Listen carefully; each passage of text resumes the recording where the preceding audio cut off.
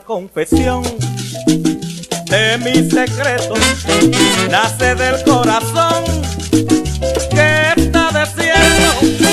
Con tres palabras solamente mis angustias y esas palabras son como me gustan